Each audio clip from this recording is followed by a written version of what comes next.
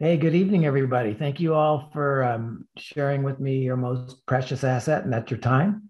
And um, I really am appreciative of these chances to share with you. And all I'm doing is um, going to share with you my clinical experience. So I've been in practice over 30 years. I have gone through a lot of different things. Uh, I got my master's with the AGD. I went through the Academy of Cosmetic Dentistry accreditation and all kinds of other stuff. But you know, um, none of that matters as much as doing things that my patient likes. And if the patient likes it, then I'm a success. It doesn't matter what else I've achieved, really.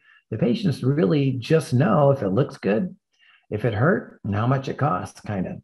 So, what we're talking about tonight is the very, very basics of dentistry, just the simple but the backbone to most of our restorative practices, and that is the simple, predictable um, class five lesion. And there's not much to it. I know some of you have great success with them, and others do class five lesions and they seem to pop off all the time. So we're going to talk about it a little bit, and uh, I'm going to go through some cases with you and um, and then we'll get started on some hands-on stuff. And I'm going to go over the hands-on kit in just a minute and all that. But I've got to go over a little bit of background, so we'll do a few cases here real quick. First of all, I want to thank Shofu for sponsoring this and Catapult Education. I am very fortunate that I've worked with almost all the manufacturers out there. I've been lucky enough to been asked to speak by um, different ones um, at this point in my career, I only speak for those companies that I have used every day in practice. And that is the truth. So I've been fortunate enough to become selective in who I work with. And um, I mean that sincerely. At this point, it doesn't have much to do with money or anything like that. It has to do with my honor. And so, again, thank you very much for being here. Catapult Education is a wonderful source of education um, I know you know about it because you're joining this uh, webinar, um, but they have many, many great speakers and just a great, great source of, uh, of um, experience and a wealth of knowledge. And so if you get a chance, check out some of the other videos and webinars that they have going on for them. So tonight, restoring, we're talking about abfractions made simple.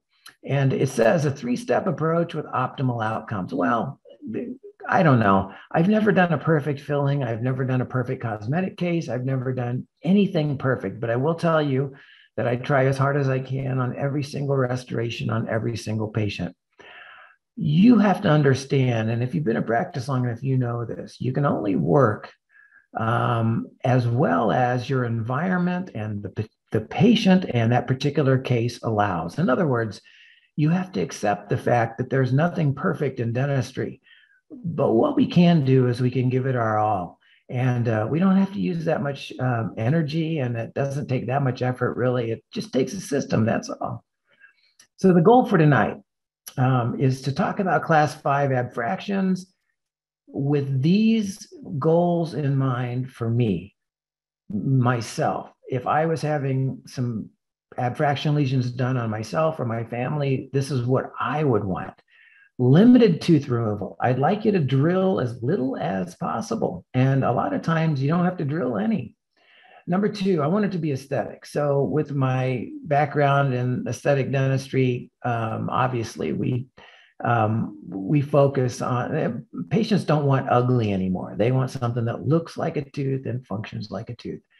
The third one is where some of you have some issues and that is is that the clinical success. We are confident in getting over 90% success for five years. So notice i'm not going to tell you tonight that everything's perfect and none of them ever come off. I'm not saying that at all. But what i will tell you is that the vast majority of patients have no issues with them whether it's micro leakage or uh, recurrent decay or uh, loss to restoration um, within five years, and most of them many, many more years than that.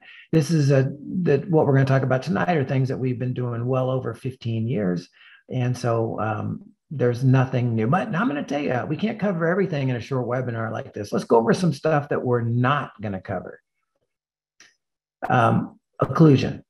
But I want you to know you've got to understand that the mouth is a um, interactive thing teeth are interactive with gums and that's interactive with muscles and that's interactive with soft tissue and there's all kinds of things working together and i'm going to tell you um, i do teach with the pacific aesthetic continuum. I'm one of the clinical directors there and we talk about occlusion and um, i'm not going over occlusion tonight but you have to understand that if you're talking about a pure abfraction case it is occlusally related so i'll just stop with that most cases that we see a lot of abfractions like this, not only do they get the restorative stuff that we're going to talk about, they uh, they usually get one or some of these things. They get a bruxism splint, equilibration, or bonding on the cuspids. And what I mean by that is we'll put some, in this case, you see that the cuspid on that screen is worn.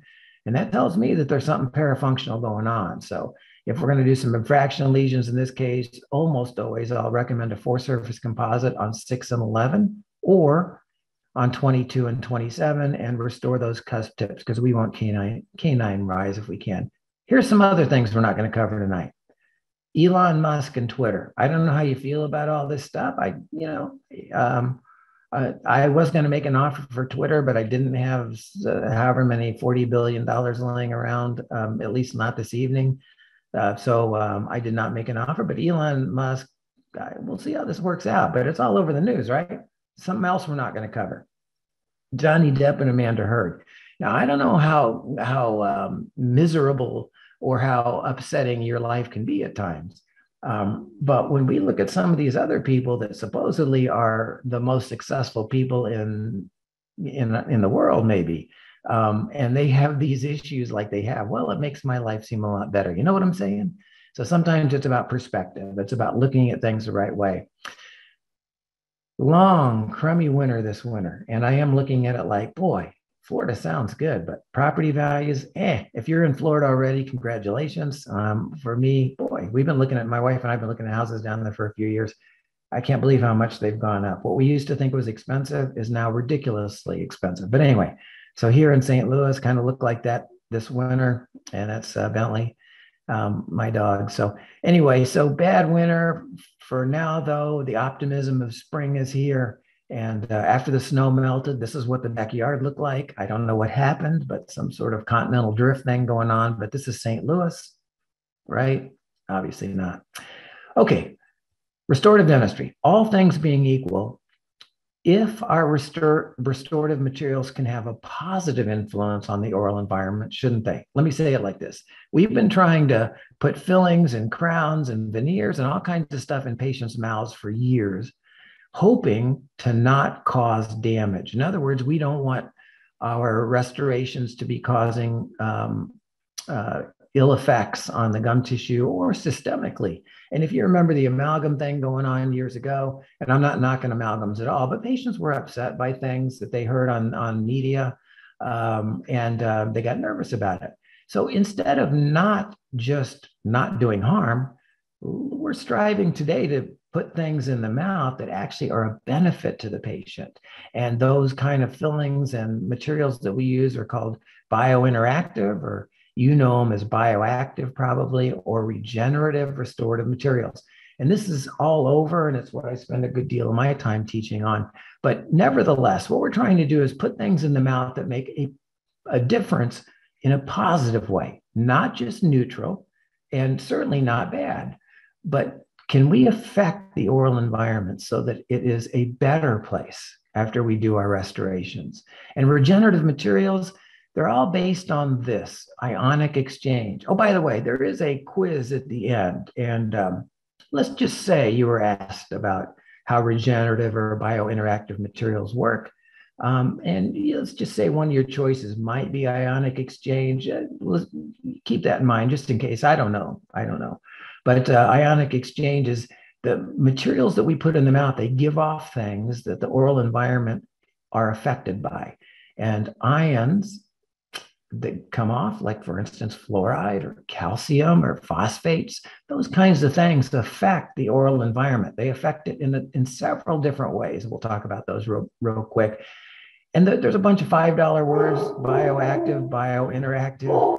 Oh, boy, I'm sorry about that. That's Bentley, the the chocolate lab I just uh, showed you. Obviously, my wife's having another Amazon delivery, and um, anyway, um, probably another return tomorrow. But anyway, biointeractive uh, is the word we really focus on today, and that's the ability of a material to release ions that might result in remineralization and to change the pH level in the mouth and maybe to change the um, microbe count in the mouth. So, in other words, can our materials give off ions that reduce plaque, reduce bacteria, reduce the chance of secondary decay, reduce the chance of, of uh, sensitivity?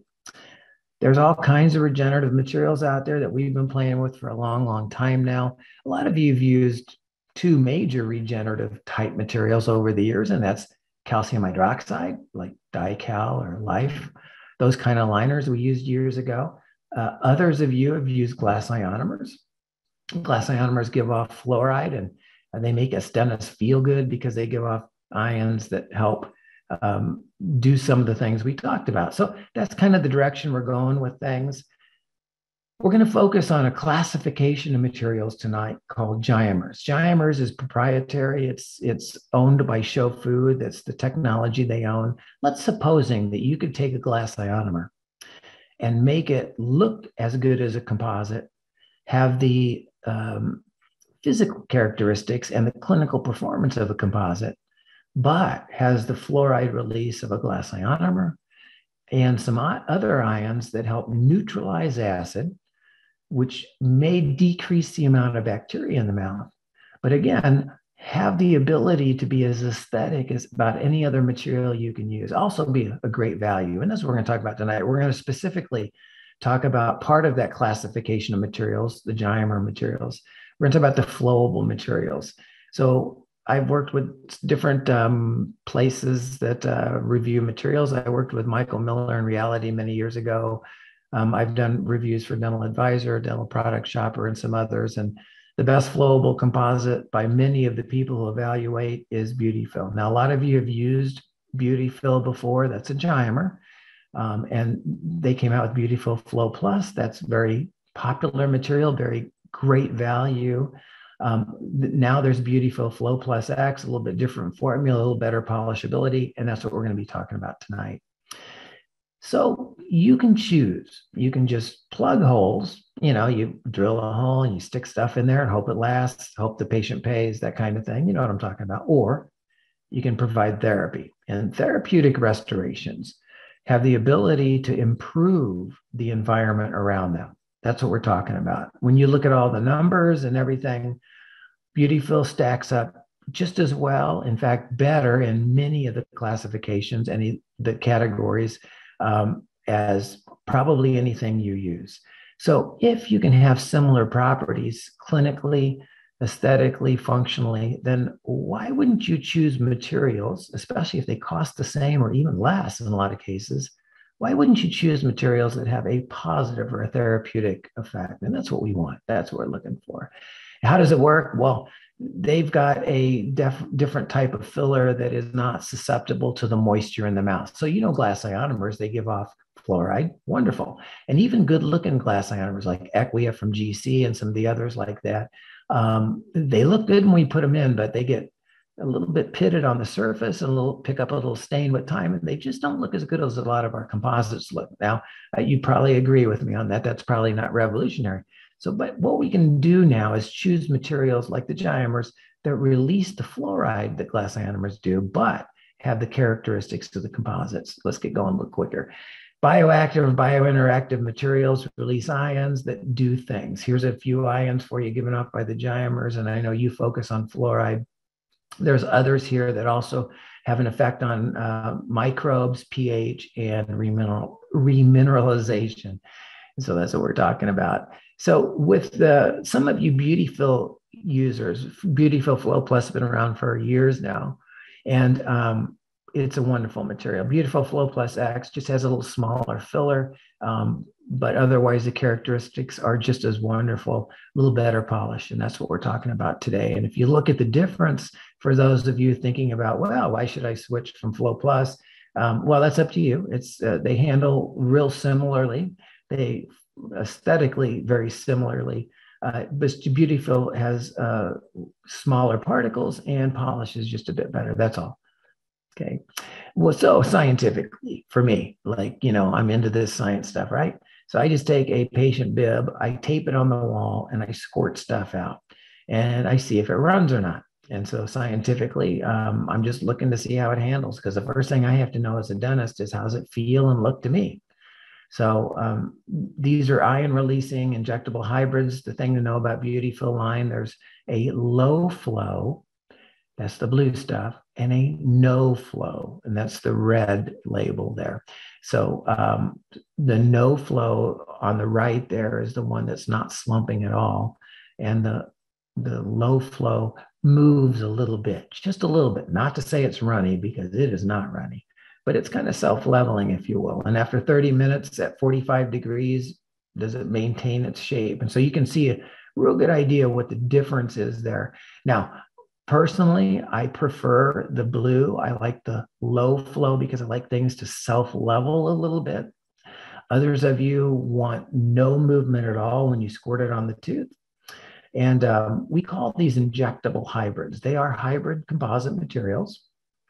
Some of you think that um, flowables must be uh, weak because there's too much shrinkage and not enough filler and all that. You've got to really kind of get that out of your mind today because of the formulations of many of these flowables that are um, have very similar product properties to your packable hybrids. Um, but there's some ways to use them, some reasons to use them, um, and we'll talk about that. Beautifil Flow Plus, like I said, acid neutralization is really important. Does it control acidity? Will it make them last longer? So there's lots of great studies on these now, and you can look those up. Um, University of Florida and a bunch of other places have done some great independent research on these, and it's a wonderful thing to consider. So here we go. When you look at these in the mouth, what do you think? Do you treatment plan these? Do you mention to the patient that they could use a graft? Um, do they need ortho? Do they need equilibrations? Do you think nothing? So, generally speaking, I, I have to tell you that dentistry is an honorable profession and I want to keep it that way. We do not treatment plan for all of these. We don't. But when the patient talks about sensitivity to touch or to toothbrush or sensitivity to cold, or they don't like the color of them or the way they look, then we talk about treatment for them. Now, of course, if they were developing periodontal issues, then we certainly would consider a graft um, and talk to them about that. Um, but my hygienist might mention to them that, hey, you know, Dr. Griffin can put some material on here um, to seal those up a little bit, make them look better, and certainly be less sensitive. If you're interested in that, we'll talk about that more later. But if the patient mentions them, certainly we have some solutions. When do we treatment plan them? Sensitive, unsightly, or patients are concerned. And that's when we'll treatment plan or at least start the discussion on these. So, what is your go to treatment here? What, what's your normal treatment here? So, a lot of you, you're tempted to take a 33 and a half or a number two round burr and start cutting retention grooves all over the place. You'll cut a groove under the enamel, you'll cut a groove down at the gum line. You're trying to lock them on because you know that as the tooth flexes, which is what causes these to begin with in most cases, when the tooth flexes, that the material that you put on there, the composite, doesn't flex. And when the tooth flexes, but the composite doesn't, bad things happen, like the marginal integrity disappears and sometimes they pop off. And so, as the patient grinds and clenches, moves their teeth around and chews, um, the tooth flexes, the material pops off, and we get aggravated with that. So, you're tempted to drill a whole bunch of holes and things just to hold them on. In fact, a lot of you will take a burr and you'll drill away more dentin than what's already missing before you started. And I know because at our hands-on courses, we see that once in a while. I'm just saying, you, you and I, I know you care. Um, so we just want to be as conservative as possible, but still get a great result. My goal again, limited tooth removal, aesthetic, over 90% success for five years. So here we go. First thing we're going to do, I'm going to give you for a list of 14 things here. I know it sounds like a lot, but it's not because this, the very simple things that we consider that we don't even consider and we just routinely do them, they're in this list. First thing is you're going to bevel the enamel. Now, I in this course description, it says you may not even have to drill. That's true. There are other ways to place a bevel, and I'll go over that in just a second. Most of the time, or many times, we can do this without even numbing the patient. How do you know? Well, we let the patient know that um, we're going to be rinsing the tooth a couple of times. We don't have to drill much on the tooth, but we've got to clean the surface. And when we say clean the surface, we mean we're going to clean the dentin or the cementum in some way but you and I have to think about cleaning in the sense of a bevel on the enamel. So the best long-term bond in the history of dentistry is to etched enamel. Whenever we etch enamel, we increase um, the retention, at least in that part of the restoration, of course. But overall, if we can do a long, irregular bevel, and I'll demonstrate that in a little bit, I'll show you what that looks like irregular meaning that it is not just a continuous 45 or 30 degree angle going across the enamel. It is long, several millimeters, and irregularly placed. Again, I'll demonstrate that. When we prepare the dentin or the cementum, the best way to do that is with air abrasion. 50 micron aluminum oxide, 27 micron aluminum oxide, it can be a, an air abrasion system like a micro etcher from Danville Engineering. It could be more fancy like a Rondoflex from KaVo. It could be one of the other units on the market. It doesn't really matter that much. What we're trying to do is to prepare the root surface, which is normally difficult to bond to. We're trying to break that surface tension, get rid of any contaminants on the surface, increase surface area on which to bond to. And that's what we're trying to do because that root surface is hard to bond to, as you know. And that's one of the reasons you start drilling holes in things because you want to increase the retention and hopefully get it to stick. Well, instead of doing that, let's air abrade. When we air abrade, we blast 45 degrees or so to the tooth surface away from the gums. And the reason we blast away from the gums is so as not to cause bleeding. Now, let's suppose you don't have air abrasion. What's choice two? Well, some of you could use a laser if you had a hard tissue laser. I'm going to assume if you don't have air abrasion, you probably don't have a hard tissue laser. So the next step we would consider doing is a number two or number four round burr on a slow speed just to roughen or clean the surface. That's all we're talking about doing. The next choice probably would be to just use some pumice, not prophy paste, but pumice to clean that root surface very well. We'll go over that again in just a minute. Now we're going to etch. We're going to do selective etch, and that is the best long-term bond in the history of dentistry is to etched enamel. Now, many of your universal bonding agents, including including BeautiBond, which we'll talk about in a few minutes, they are acidic. The universal bonding agents have acidic monomers in them that will etch enamel, especially cut enamel. They don't do very well on uncut enamel, and they don't etch enamel as well as phosphoric acid. Selective etch, meaning that we're going to intend to put our etch on just enamel. We're going to rinse it off after 15 seconds. We're going to keep the tooth moist always. We're never going to dry it out. You don't have to dry it to see if your etch turned the enamel frosty. You know it did. You don't have to look at that. Then we're going to put our bonding agent on. In this case, we're going to use BeautiBond. And again, those of you who have kits, I'll go over that in just a few minutes. I'll show you my kit and then we'll, we'll be using that. Um, BeautiBond's a seventh generation universal type bonding agent. It etches cut enamel, 30 second application. The instructions tell you you don't have to place etch, and you don't, as long as you are absolutely sure you're getting it on cut enamel. Still, though, my preference is to always do selective etch. I don't etch dentin intentionally, but I do etch enamel intentionally. We're going to air thin the bonding agent well. The reason we air thin well is to get rid of the carriers, the, the acetone, ethanol, the water, whatever's in that bonding agent that allows us to put it on the tooth. We want to get rid of that. We air thin it until it doesn't move anymore, and then the surface should look shiny. Then we're going to light cure it.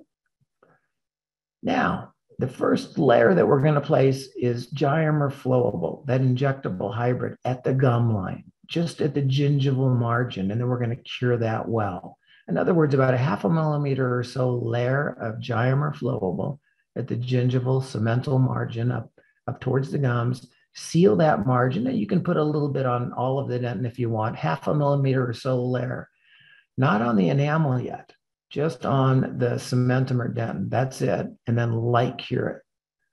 Now, what's the deal with that? The reason that we are doing that is we want to control the polymerization shrinkage stresses.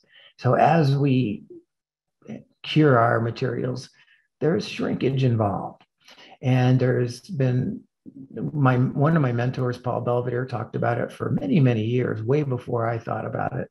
Um, and they talked about polymerization shrinkage stresses. And which way does the composite shrink towards? And um, how can you cure it to help reduce the shrinkage stresses?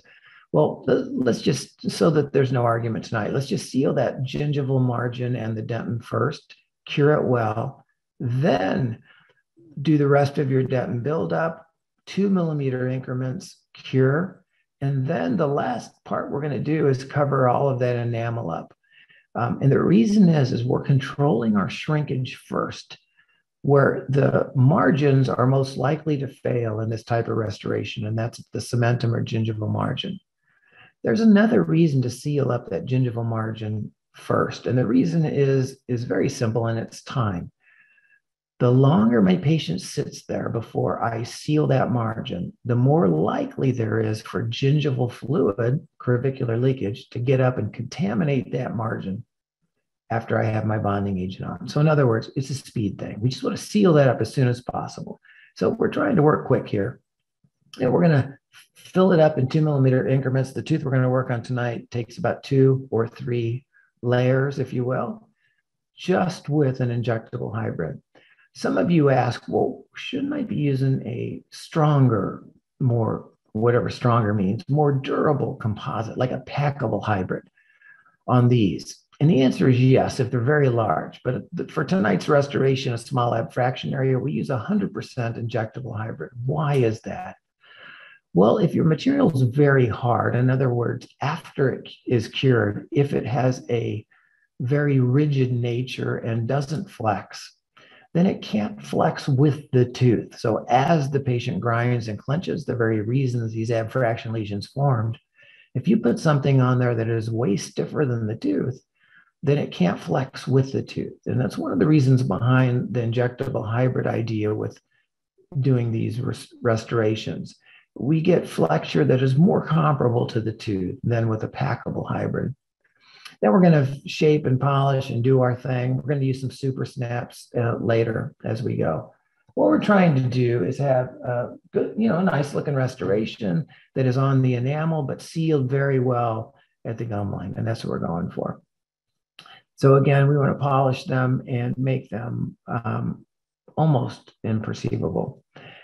Giomers release different ions, including fluoride. And one of the things about today's new materials is that they're rechargeable. So once they release fluoride, can you put fluoride back in them and have them re release? And the answer is yes. So often with these patients, especially patients uh, that are um, complain of dry mouth or have chemotherapy, chemotherapy or radiation, a lack of saliva, uh, or recurrent decay, rampant decay, abfraction lesions, root sensitivity, those kinds of things. Tray therapy is underutilized in dentistry. And a big advantage of the giomer restorations is that they can recharge with fluoride and then re release to keep that um, benefit to the oral environment going. Um, when, when you do air abrasion, there's a bunch of different units on the market. A lot of you don't do air abrasion because of the mess.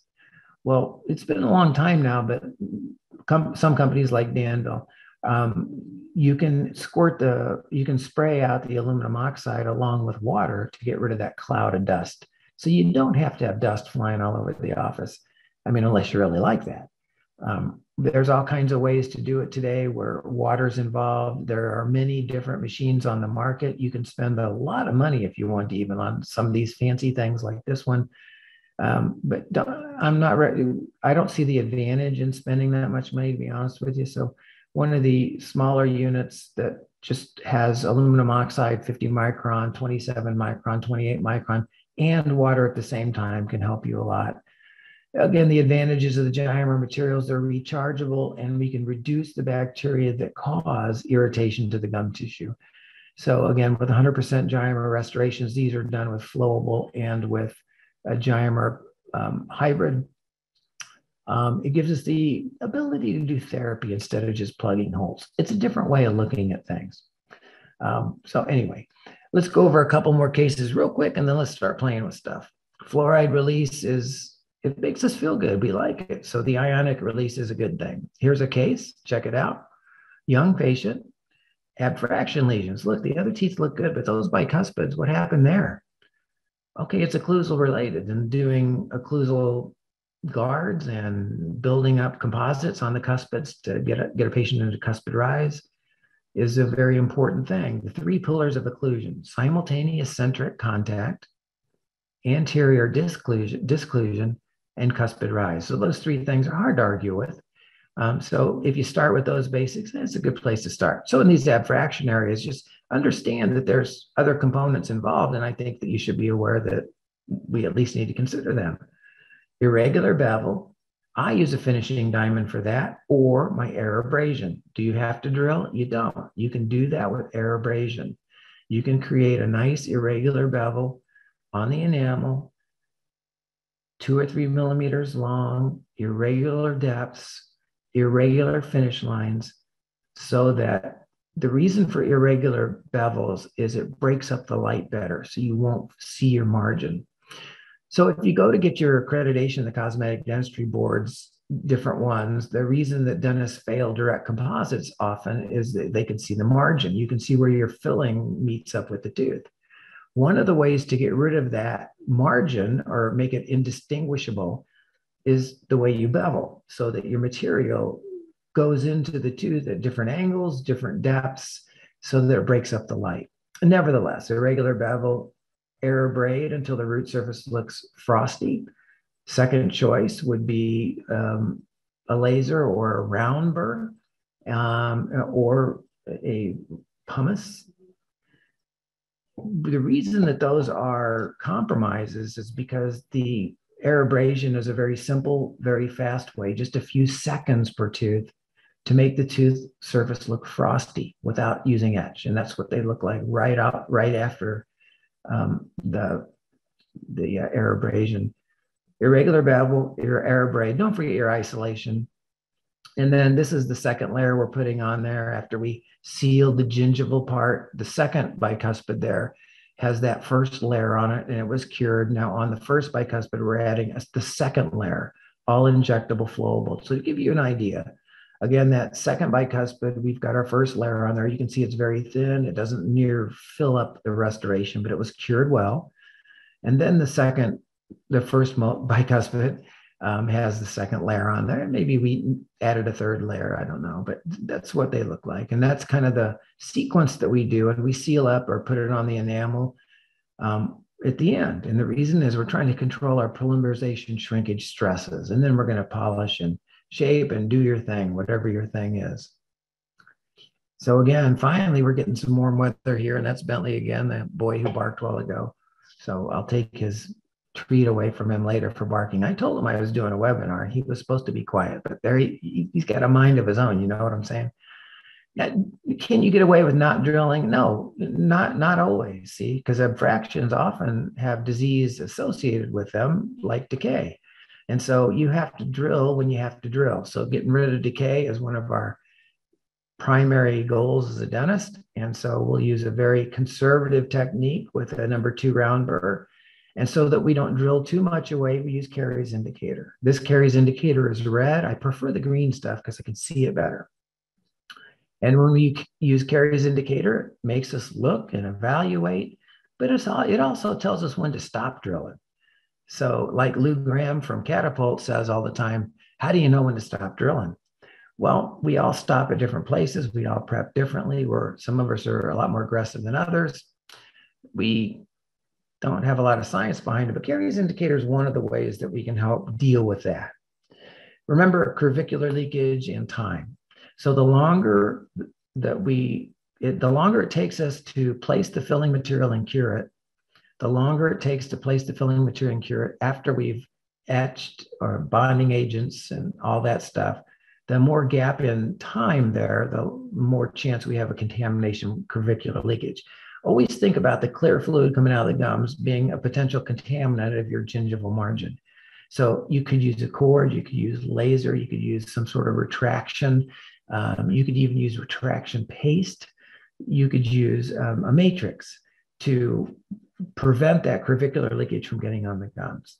Irregular bevel, selective etch, rinse, leave the tooth moist, bonding agent, cure. Your first layer of flowable goes at the gum line, cure that well, and then build up the rest of your restoration, even if you used a packable hybrid. Remember, the reason that we use a, an injectable hybrid is because it's, first of all, it's easier, less chance of voids within the restoration and it polishes as well as the other composites you use, and we maintain some flexure after curing. You can shape it up with a finishing burr. Um, you can do all of it with discs, as we're going to do in just a few minutes. We just want the restoration to blend into the tooth very well. Again, the bevel is very, very important, and how you prepare the dentin surface is very important as well. So all these done with just Giomer flowables, all of them. Okay, so some of you have requested your kit and um, it says supplies are limited. Well, I don't even know what that means. I mean, they're still making this stuff, I assume, right? So, uh, but anyway, if you didn't request it before the deadline, no worries, no worries. A kit is being mailed to all of you if you're in the continental United States. The kit includes these things on the screen. And so um, let's play. So, what I'm going to do now is I'm going to switch over to the visualizer. These are the things that's in your kit. And so when you get your kit, you're going to see some Flow Plus. And um, the first thing that I do is I play with it. And so I'll take my fingernail on my cracked finger and I squirt some out and I just play with it. And that's what you should do too. This is the red stuff, right? The stuff that doesn't slump. Notice it's not slumping. Now you play with that yourself and figure that out. All right. Don't look at my fingers, they're cracked. Maybe I should put some gloves on. Um, the rest of the stuff in your kit, you get a tooth. This is a real tooth from one of my patients that we extracted. I sterilized it for you, something like that. Some BeautiBond, some little polishing thingies, some little tips for your um, flowable. Now, some of you dentists out there, um, I know you have wonderful staff, and for me, I could never do anything without the staff. This little tip thingy goes on the end of the flowable tube. I'm just pointing that out to you because some of these things I don't know until my assistant shows me how to do it. So again, ask an assistant if you don't know. And then of course the man, the super snaps are little polishing things. There are regular sized ones and miniature ones. And which ones you use is up to you. Notice a couple of things about these. There's no ring, there's no hole in the middle with a metal grommet like some of the um, manufacturers use. So there's nothing to scratch up your restoration with. And all of them polish from the front and the back side. So you don't have to flip, uh, take it off and flip it over to polish. Um, except for the black one. The black one only polishes or shapes from the outside. The black one is very coarse, very abrasive. And then it goes purple, then green, and then red. Okay. The other cool thing about these is, wow, where's my mandrel? I lost my mandrel.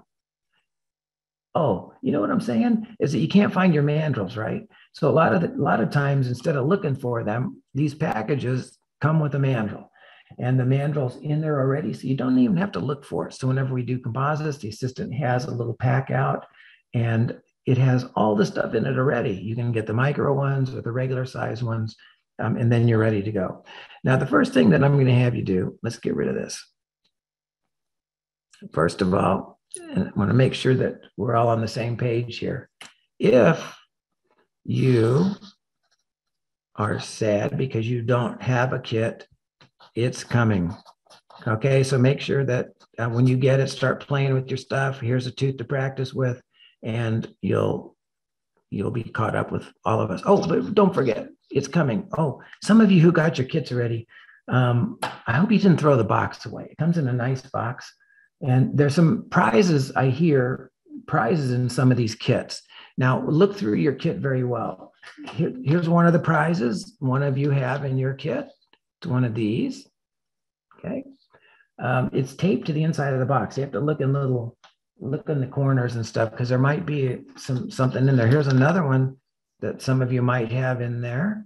Maybe. I'm, well, I'm not sure about that. I also hear that um, another attendance prize for tonight. If you do a lot of engine painting, we have a high heat Rust-Oleum engine paint in there. That's in some of the boxes. I think. Um, I even heard that, especially to the Shofu employees, there's a chance in one of the boxes you might have the keys to a Porsche. Okay, I'm just saying. So, very important that you get the kit because it's got a lot of good stuff in it. Here's our victim for tonight. Um, and again, it's kind of hard to see with the visualizer. And what I'm going to do is I'm going to try to zoom in in a minute. Um, and we're going to, I want to do this without making you too dizzy and I don't want it to look too grainy. I'm just going to go a little tiny bit there. Now you have a class five lesion, a, an abfraction, abfraction lesion on this. And um, remember also that the first thing you do when a patient walks into the office is you put a bib on it. So I've got a little bib to put on the patient. Here's the bib, okay, to protect it. Okay, so let's forget all that. So the first thing I want you to do is to grab your tooth and grab your drill because I assume you don't have air abrasion with you right now. And we're going to place an irregular bevel. And the angle for the bevel is like this with a diamond. You could use a carbide as well. The idea is have irregularity. What do I mean by that? What I did is I did one for you earlier, and I'm going to give you an idea what the bevel looks like. So here comes here comes the bevel.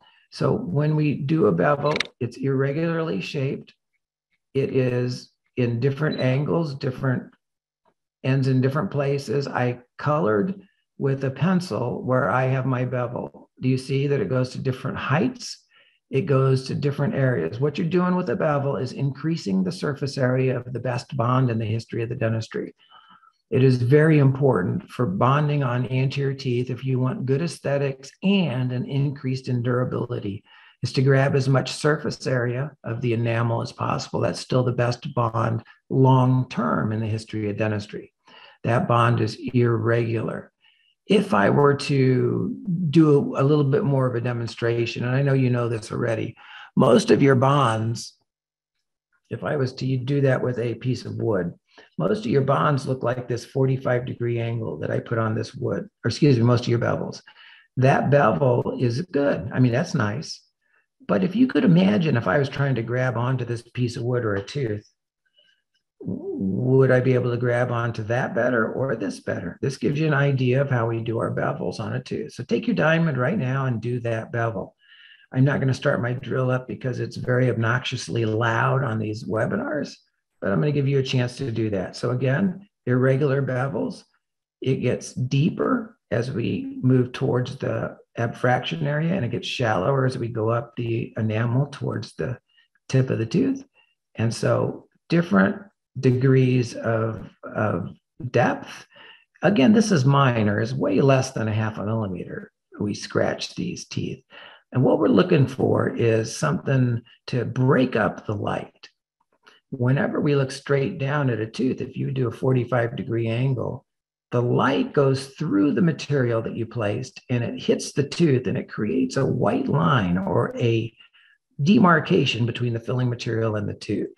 That irregular bevel is what helps prevent that. Again, if you do aesthetic boards um, in one of the organizations, they will um, fail you if they can see the margin. And so, again, if you want to, it takes no more time to do that. It's just a little bit of just a little bit of thinking about how you're going to place your bevel and why you're doing it. Two reasons, again, to hide that margin. Number two, to increase the surface area of the best bond in the history of dentistry long term, and that's to enamel. Okay, next. After you're done with that, you rinse your tooth off. Um, again, that bevel should look something like that, however you do it. Uh, it's hard for me to zoom in closer than that without making you dizzy. Just a little bit of scratch in there to different depths. Okay, that's done. Now, in the real world right now, what I would do is I would place a little bit of etch just on the um, on the enamel. And so just to do selective etched right on the enamel and that's it. And then rinse that off, leave the tooth moist. Then we're going to take our flowable composite and we're going to place it just at the gingival area right here. And let me squirt some on there. And I'm going to move my hand to get better lighting for you. And I'm just going to cover that margin. Now, with the red stuff, you're going to notice wherever you stop and lift up, there might be a little tail of that material. You see it sticking up there? Okay. The reason I tell you that is the red material is no flow and it will do that because it's not going anywhere. The blue material, if I was using it, the low flow material, a little less viscous, it will self level. If you wait just a couple of seconds, then cure it, then you won't see that little tail.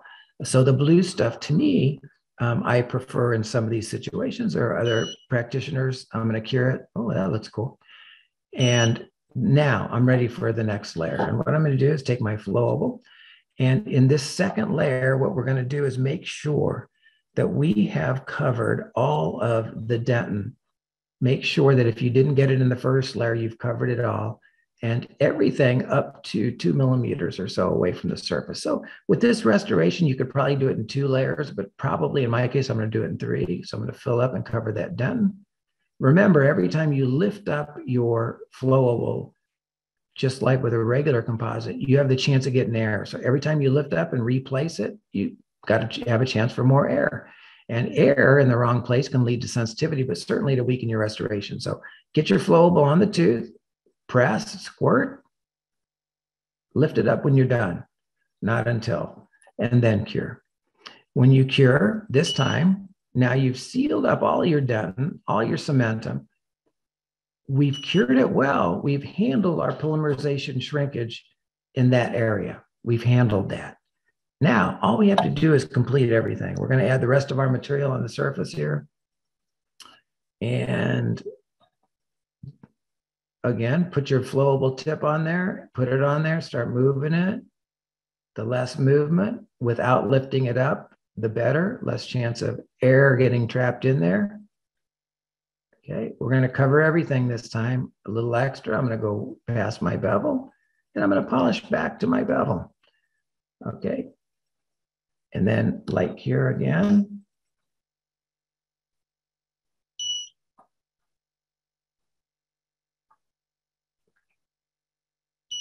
Okay, and then shape. Now, you know what? We did forget a step, and that is the bonding agent. Didn't we forget that? Yeah, I forgot bonding agent. Sorry about that. Long day. So anyway, after our etch, we rinse off, we place our bonding agent, and that's BeautiBond. Again, it tells you in the directions that it bonds to non, to it bonds to enamel. It does. It's it's acidic. We can put it on. It becomes more neutral after you air thin it and light cure it. But it's still better if you can etch the enamel first, especially on uncut enamel areas before you place it. Okay, sorry about that. When you are done, light cure it very well. Remember that you can't over cure a composite. You can under cure a composite. And remember too that an under cured composite, especially on the dentin, can lead to sensitivity. Uncured resin is a pulpal irritant. And so we don't want that, right? So we want to make sure that we have cured it very well. Now, after you cure, you've got some choices in how to shape these. My preference in the real world is to use a finishing diamond with water to do my initial prepping. Finishing diamonds to me work very well. But for a lot of you, you don't like those skinny uh, finishing diamonds. And so um, a disc is fine. Remember that discs have to be safe. I want you to know this too, just in case you were ever asked this on a quiz or something. When your disc spins, it turns, right?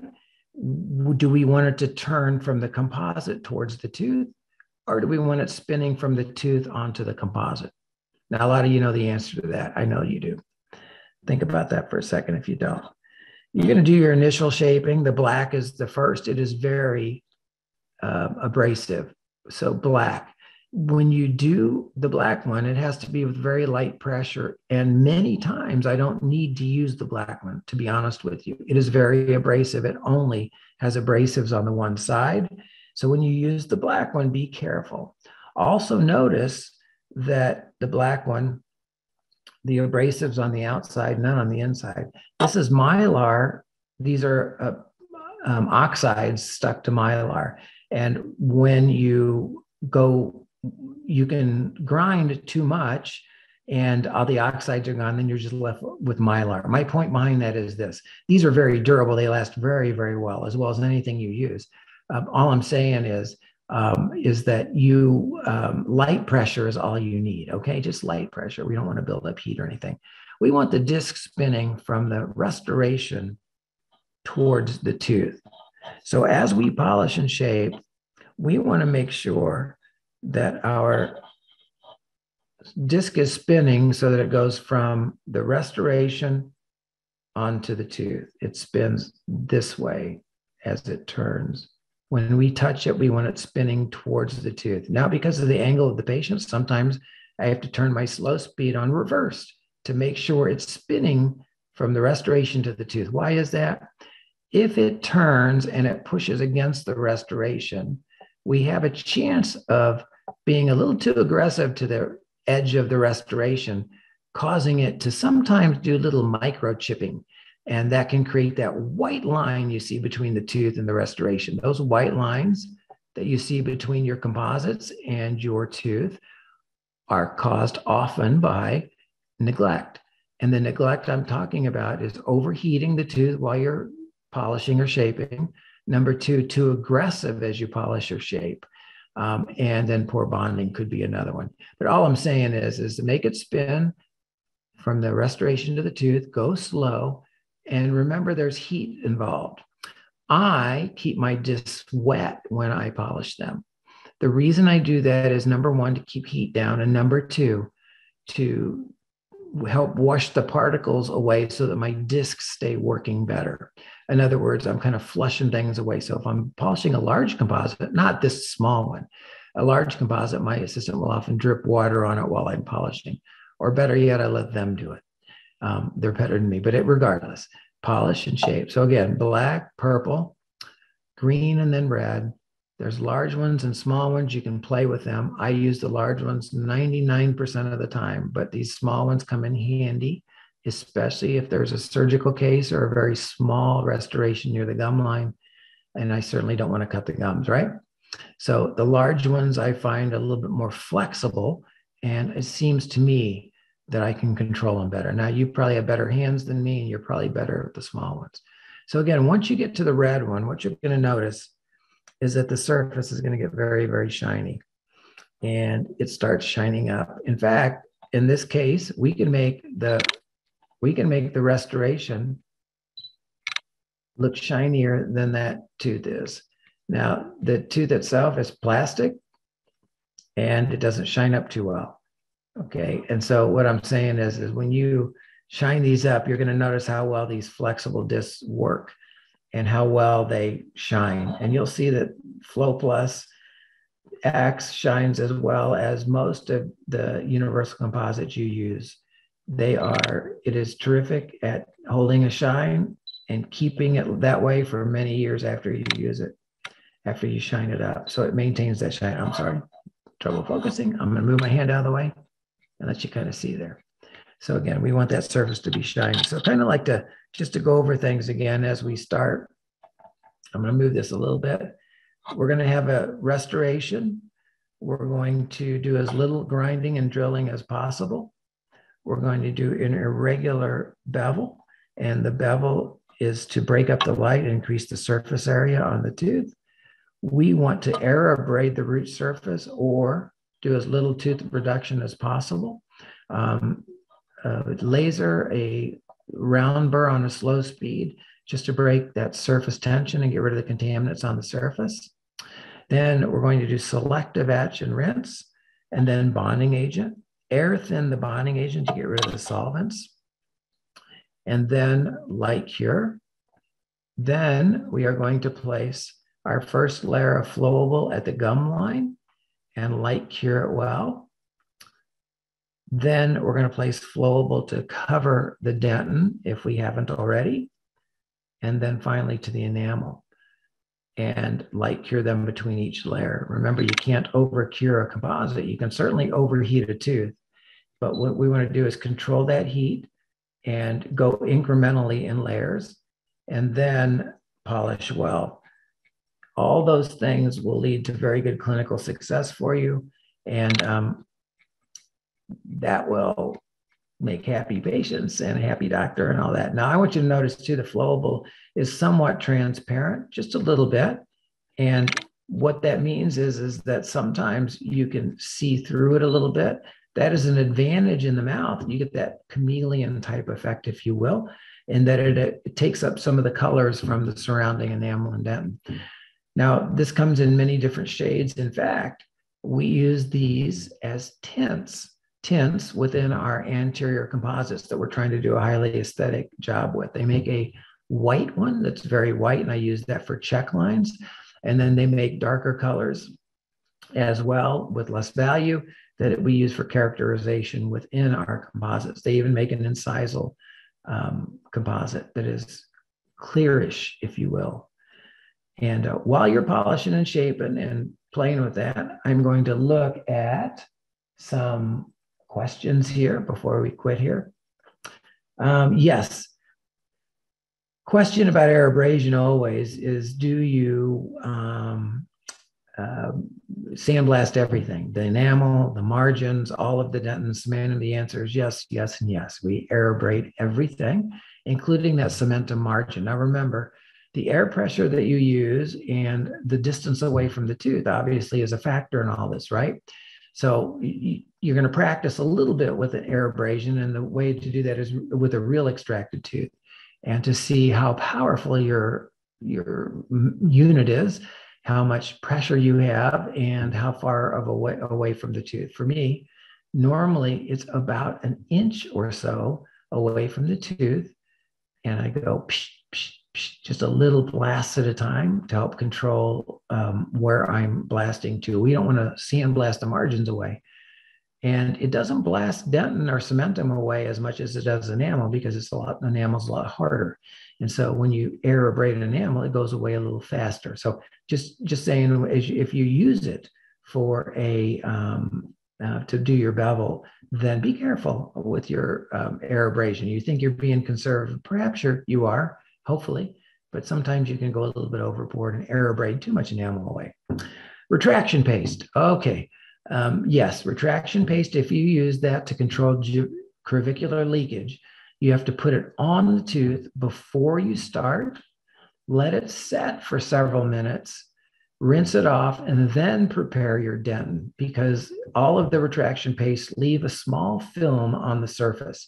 And so when you leave a small film on the surface, you have to deal with that and get rid of that. And so if you use retraction paste, put it on the crevicular leakage first. It will help stop bleeding and crevicular leakage. Then rinse it off and then do your work. All right. Um, Activa Presto is a good material. It is another regenerative type material. You will have better efficiency by using an injectable hybrid like, like the flow we talked about. Uh, can super snaps be reused? No, don't do them. Don't don't autoclave them. They're very inexpensive. A package of, in fact, you can buy them in bulk. If you just find yourself just using the say green and red after your finishing burr, which is very plausible, then you can buy in bulk. Just buy the red and buy the green and just toss them each time. Do you have to use the pack with the disposable mandrel? You don't. You can use a regular mandrel if you want. Um, so that's up to you. Depends on if you lose things as much as I do. What kind of products recharge the fluoride ions in, in these types of materials? Um, almost any kind of fluoride does. A regular fluoride, Henry Schein fluoride, or from Patterson, or whoever you get your fluoride from, um, Gel-Kam, um, Prevident, and then the paste that we use the most are like Remin Pro from Voco um, or MI paste from GC. Those release, those have fluoride in them and they recharge the restorations. But even fluoride from water or from toothpaste can help recharge them as well. Um, shrinkage is over 3%, but remember, we're controlling the shrinkage stresses by doing it in layers and being strategic with our layering, and that is to place it at the gingival margin, which matters the most first, then building up in increments from there. Generally speaking, on these, I build, I do the cementum margin, the entire cementum or dentin margin, then I cover and I cover the entire dentin in about half a millimeter layer as my first layer. So I've covered all the dentin cementum in the first layer, about half millimeter thick. Then I build up incrementally. How do you mask discolored dentin? You mask discolored dentin by using more opaque um, flowable composites. When you look at the the flowable, um, the Flow Plus X colors and stuff, you'll see some that are opaque. Look at that and you can help block colors with those. Do I use rubber dams? The answer is yes and no. Generally speaking, for class five lesions, I don't. I use retractors. Um, when we do a rubber dam, can you tuck the rubber dam into the sulcus? Are you good enough with your rubber damming to do that? And the answer is for me, no. So I use retractors. Um, and then like photographic retractors that hold themselves, if you will, um, uh, or an OptraGate from, um, oh, I'm drawing a blank, Ultradent um, those kinds of retractors. And then um, again, be cognizant of the fact that gingival leaks. And so those are all great questions. Do I ever use glaze? Um, I've used glaze lots of times. It doesn't photograph well. So in the publishing, teaching world, um, glazed restorations don't photograph well. They're too shiny. In your world, in the real world, in, in my world as well, most of the time, um, a glaze helps seal those imperfections on the surface, and it can lead to a better looking restoration. But I will say that if you're going to use an injectable hybrid, which has um, very few voids in the tube from Shofu, very few voids, and you don't keep lifting your tip off the tooth as you do each layer, voids won't be an issue for you anyway. So you don't really need to use the glaze. However, glazing, no problem thank you all for listening and for being a great audience. And I really appreciate your time and the effort that you show to uh, your commitment to dentistry um, because when you do that, it makes me happy. And I want to make sure that um, you guys, you gals, um, have a great, great career and do every restoration as if it's your last um, as good as you can, given that circumstance, that patient, um, and all. Have a good evening and thank you very much. Stay safe out there, and um, I'll see you down the road.